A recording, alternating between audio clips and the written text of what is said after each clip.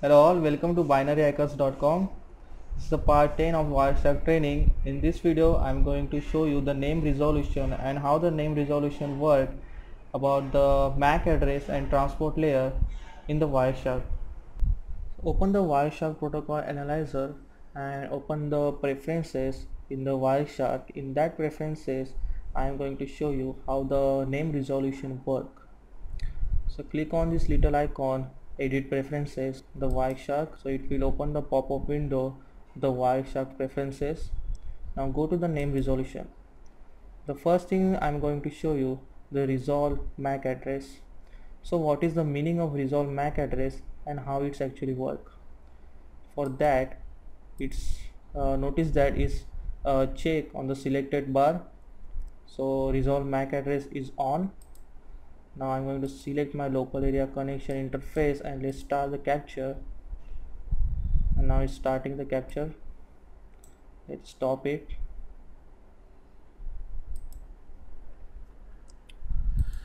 So select this packet.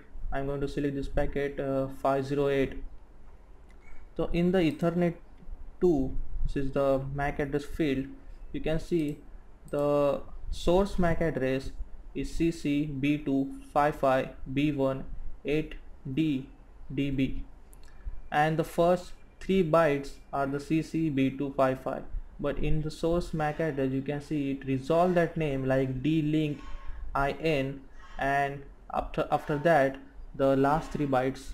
So last three byte, uh, bytes is your unique identifier number or unique identifier byte of the MAC address and first three bytes it's related with the particular vendor or particular company. So how Wireshark will resolve that uh, particular vendor from the MAC address?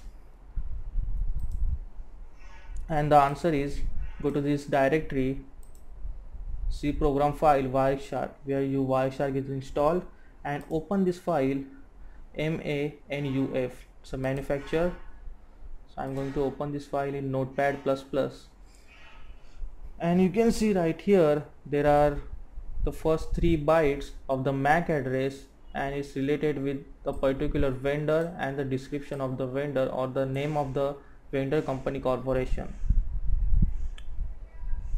So this is responsible this file is responsible for the Wireshark uh, how to Wireshark will resolve that MAC address uh, name. So you can edit this file. For this example I'm going to use uh, edit this d-link. Just go to ccb255 now let's control F and type this address ccb255 and when I find this address you can see the d-link will appear right here. See right here? The d-link is the name of that particular vendor the first three byte of the MAC address. So I'm going to edit this and for this example yes I'm going to type my name Rahul and save this file. Now let's start. Let's capture again. Select the interface start the capture. And stop. And you can see the d-link address the CCB255 it resolved by the name Rahul because I changed that file and that vendor name D-Link to Rahul. So the broadcast for this particular MAC address is resolved by the name Rahul in Wireshark. So how this uh, this is the MAC address resolution work in the Wireshark.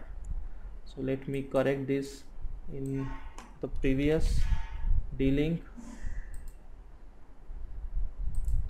Okay so the second one is the resolve transport names. So what is the resolve transport name and how it's work? So first let me uncheck that. Click on the apply and start a new capture. Local area connection start. And let's quickly go to my google. Open the google chrome. And okay my web home page is google.com and the google site is load. Now let's stop the capture.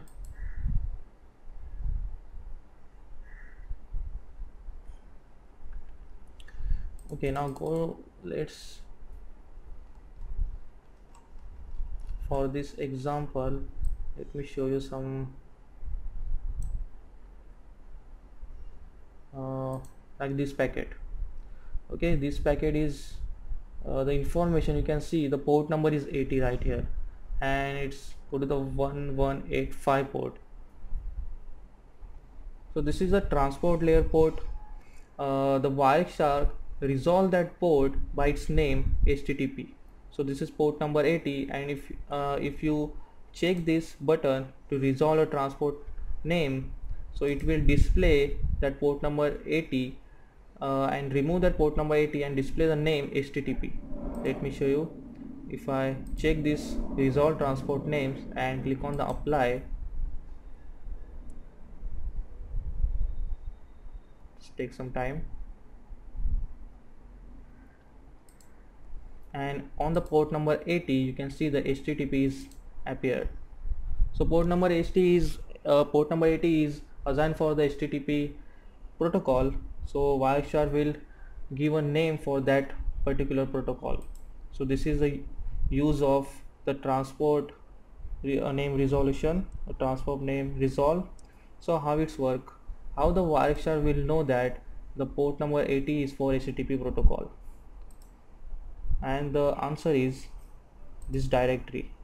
It's a Windows C drive Windows system 32 driver etc folder and that folder just open this services file. And I highly recommended you that if you don't know about this file and the modification don't do any modification in this file because this will corrupt your uh, some protocol or some network connection. So here you can see this is all it's all the names of the services.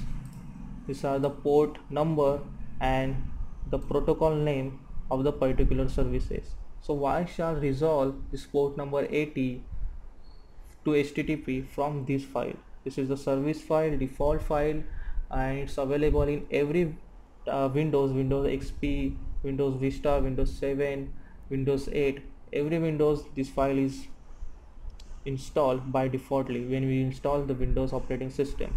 And Wireshark resolve that port number and port name from this. So this is all for this video. See you in the next video. Thanks for watching